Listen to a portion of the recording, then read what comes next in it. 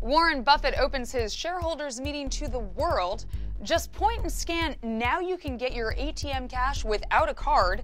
And 3D printed designs hit the runway at New York Fashion Week.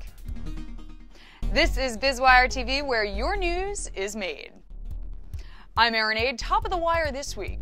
A first for one of the most anticipated financial events of the year Warren Buffett's annual Berkshire Hathaway shareholders meeting. Yahoo Finance announced that it will live stream the event from Omaha. The annual meeting attracts tens of thousands of shareholders every spring, but it's always been closed to the general public. However, that all changes this year. Yahoo Finance says the exclusive live stream will kick off with on site reporting at 10 a.m. Eastern on Saturday, April 30th. Chairman and CEO Warren Buffett says partnering with Yahoo gives the company the opportunity to reach more people than ever around the world. Berkshire Hathaway is the parent company of Business Wire. Reaching for cash at an ATM usually requires the swipe of a debit card. Until now, FIS and PayPal have teamed up to offer cardless cash. It's a new technology that has just rolled out at 2,000 ATMs across the country. The tech is embedded in the mobile apps of participating banks. Customers access their account and then just point and scan to withdraw money. BMO Harris and Wintrust are two of the banks that have been using the technology since cardless cash launched last year. On to some quick biz hits. Ford is accelerating its global SUV lineup into the next decade. Ford SUVs are growing in popularity, especially with millennials. The automaker says it's adding four all new SUVs in the next four years to meet the demand it expects to see from millennials and baby boomers. Life is full of twists and turns, but it's kind of nice when you get to decide how many.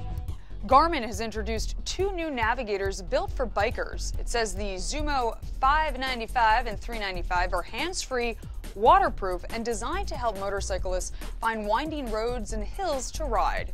The devices are scheduled to hit stores in April for just under $600 and $800 respectively.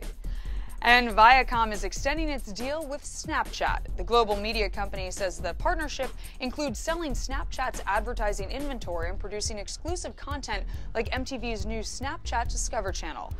And the story spread through social channels, reaching 44 million people, according to our NUVI Media Monitor.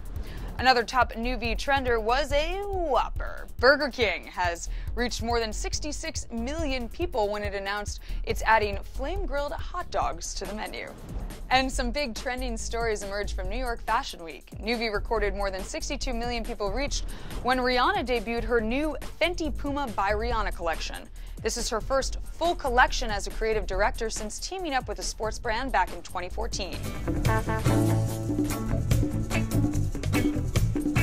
Tommy Hilfiger embraced island life for his spring collection, but the fashion brand says this will be the last one where people will have to wait to buy the styles in stores. Almost 22 million people were reached when Hilfiger revealed it will shift to a direct-to-consumer model in September. That's when Hilfiger will debut its Tommy X Gigi capsule collection, a collaboration with supermodel Gigi Hadid.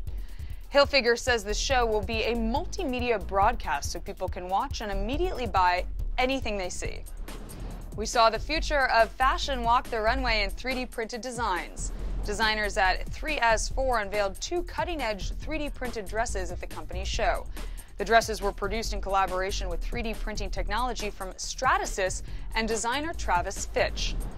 And technical functional streetwear is the sweet spot for Kit and Ace, and it's really paid off. Fast Company named the Canadian retailer one of the world's most innovative companies for 2016 and ranked it in the top 10 most innovative companies in retail. Kit Ace launched just 18 months ago and is now online in nearly 60 locations worldwide. Finally, let's bookend the Buffett live stream story with another live stream you don't have to wait until April to watch. It's a new live nest cam featuring a pair of bald eagles. The American Eagle Foundation says the twosome, named Mr. President and the First Lady, laid their first egg on President's Day at the U.S. National Arboretum in Washington, D.C. Two HD video cameras are catching all the action, now streaming live 24 7 on eagles.org and dceaglecam.org. Be sure to catch BizWire TV every Friday, the Accelerator Report on Sundays, and check out all of your top news at any time on BusinessWire.com.